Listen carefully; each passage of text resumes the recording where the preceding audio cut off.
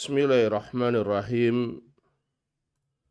Alhamdulillahi wassalatu wassalamu ala rasulillah wa alihi wa sahbihi ajma'in amma ba'du.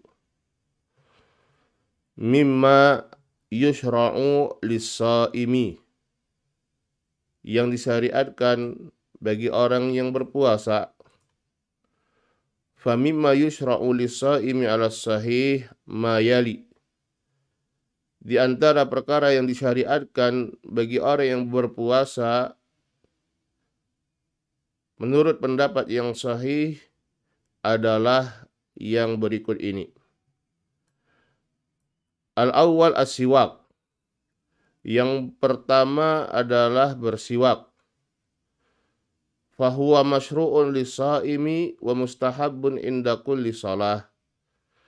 Dan ini adalah perkara yang disyariatkan bagi orang yang berpuasa dan disunahkan ketika setiap hendak salat wa inda kulli wudu dan ketika hendak setiap berwudu.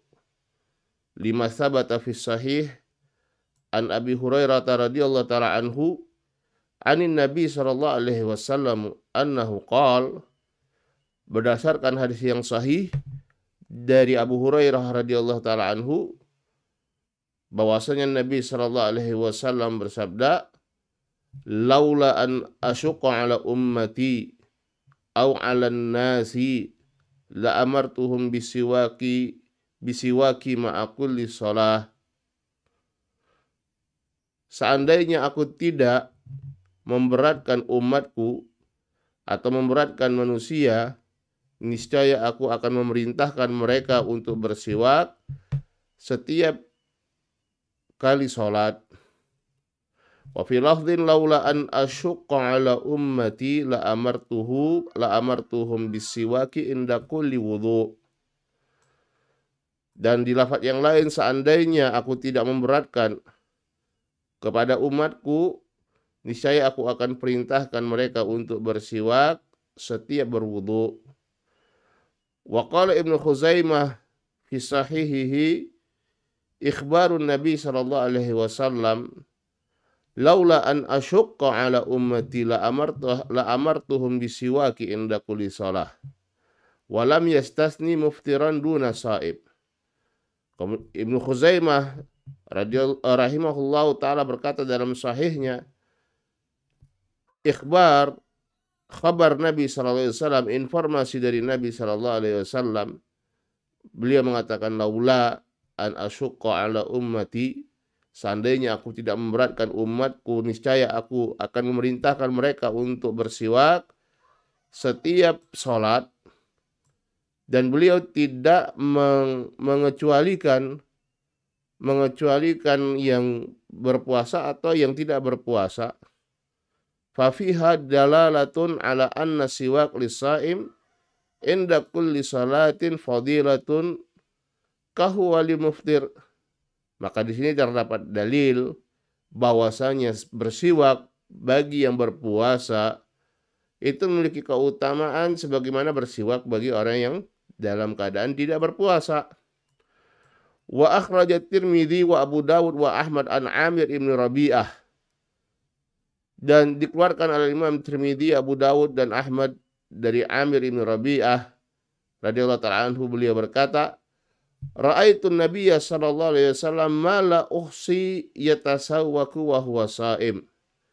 Aku melihat Nabi sallallahu alaihi wasallam sering sekali tidak terhitung banyaknya.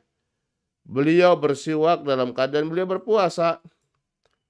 Wa fi sanadihi Asim bin Ubaidillah ibni Asim bin Umar ibn Khattab da'afahu al-Bukhari wa Ibnu Ma'in wa ghairu wahid. Dalam sanad hadis ini terdapat Asim bin Ubaidillah ibnu Asim ibnu Umar ibn Khattab yang didaifkan Al-Imam Al-Bukhari dan Ibnu Ma'in, Yahya Ibnu Ma'in dan yang lainnya. Lakin qala At-Tirmidzi rahimahullah akan tapi Al-Imam Tirmidzi rahimahullah berkata wal amalu ala hada indah ahli ilmi. Amalannya adalah seperti ini di sisi ahli ilmu yaitu mereka melakukan uh, tetap bersiwak walaupun dalam keadaan berpuasa. la yarawna bisiwaki lisaim ba'san awalan nahar wala akhirahu yaitu bahwasannya mereka berpendapat bahwasanya bersiwak itu bagi orang yang berpuasa tidak mengapa. Apakah di pagi hari atau di sore hari? Fasawab annahu yushra'ul as-siwaku fi awwali nahar wa akhirih maka yang benar pendapat yang benar bahwasanya bersiwak itu disyariatkan baik di pagi hari ataupun sampai sore hari bagi orang yang berpuasa. Walakin bisyarti an yakuna siwak la yatafattat wa la yadhhab al futat ila al halq akan tapi dengan syarat bahwasanya siwaknya itu tidak remuk dan remukannya remahannya itu tidak masuk ke dalam kerongkongan seorang Wa kadzalika wa kadzalika alla yakuna qawiyan yajrah al-lussah. Dan juga jangan sampai terlalu keras siwaknya sehingga tidak melukai gusi. Wa alla yakuna fi fihi syai'un akhar mimma tadauhu nas liyu'tiyahu ta'man. Dan juga tidak ada sesuatu yang dicampurkan oleh manusia di siwak tersebut yang memberikannya rasa pada siwak tersebut. Kemudian perkara yang kedua yang disyariatkan man ra'a man ya'kul aw yashrabu fi nahari Ramadan nasiyan wa huwa sha'im wajib alaihi i'lamuhu. Kalau kita melihat seorang yang makan dan minum di siang hari di bulan Ramadan yang makan dan minum itu dalam keadaan dia lupa dalam keadaan dia berpuasa dan dia lupa dia makan atau minum, maka wajib bagi yang melihatnya untuk me mengingatkannya. Wala yajuzu lahu sukutu anhu kama yataqiduhu ba'dul amah. Dan tidak boleh dia diam saja sebagaimana ini yang diyakini oleh sebagian orang. Lianna hadha minal amri bil ma'ruf wan nahi anil munkar. Karena ini termasuk dari perkara al-amr bil ma'ruf, mengajak dari perkara yang ma'ruf kepada perkara yang ma'ruf dan melarang dari perkara yang mungkar li annal akla wa syurba minas saib minas saib fi nahai ramadan munkar karena makan dan minum di siang hari di bulan Ramadan bagi orang yang berpuasa adalah perbuatan yang mungkar. Lakinan nasi ma'durun fawajaba i'lamuhu. Akan tapi orang yang lupa itu dalam keadaan ma'dur mendapatkan udur maka wajib untuk diingatkan diberitahukan kepadanya. Wali ana hada minat ta'awun alal birri wa taqwa.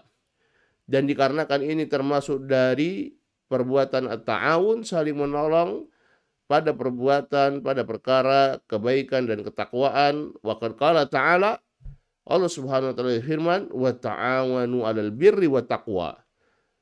Bertawunlah kalian saling tolong menolonglah kalian di atas kebaikan dan ketakwaan ketakwaan wa sallallahu wasallam ala nabiyina Muhammad wa alihi wa sahbihi ajma'in walhamdulillahi alamin والسلام عليكم ورحمة الله وبركاته.